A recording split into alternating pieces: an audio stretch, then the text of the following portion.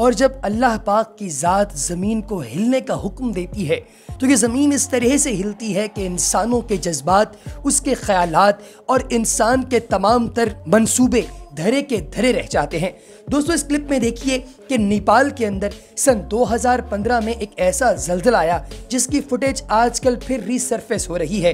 यानी कि लोग इसे फिर से देख रहे हैं, दोबारा दोबारा देख रहे हैं और इसके अंदर बड़ा क्लियर व्यू है। शायद ऐसा बड़ा व्यू आज तक लोगों ने कभी क्लीन व्यू नहीं देखा होगा, जिसके अंदर एक सीसीटीवी कैमरा फुटेज के अंदर देखा जा सकता है कि बहुत ही क्लीन कलरफुल रिज़ल्ट है कि नेपाल का एक बाज़ार है जिसमें लोग अपनी आम ज़िंदगी गुजार रहे हैं कि अचानक ज़मीन के रेशों को अल्लाह पाक की तरफ़ से हुक्म होता है हिलने का। और जैसे ही ज़मीन हिलती है, लोग अपने कमरों में से भागते हुए बाहर आते हैं। दुकानदार अपनी लगी हुई दुकानों को अपने रोज़गार के अड्डों को छोड़कर बाहर भागते हैं, जो टूरिस्ट आप इस वीडियो क्लिप में देख रहे हैं, जिसके हाथों में कैमरा पकड़ा हुआ है।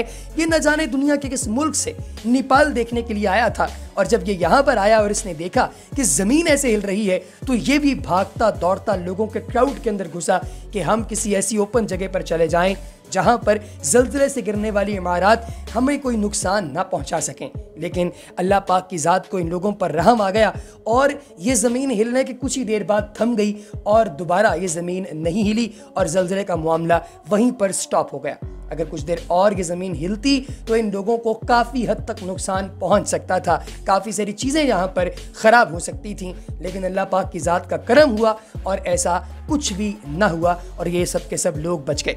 दोस्तों, अभी भी वक्त है, अल्लाह पाक से माफ़ी मांगिए और हक की तरफ़ वापस पलट आइए। अगली वीडियो तक हमें दीजिए इजाज़त। अगर आपने अभी तक चैनल को सब्सक्राइब नहीं किया तो हमारे चैनल को सब्सक्राइब कीजिए, बेल आइकन पर क्लिक कीजिए और कमेंट सेक्शन में अपनी कीमती राय का इजहार ज़रूर कीजिएगा।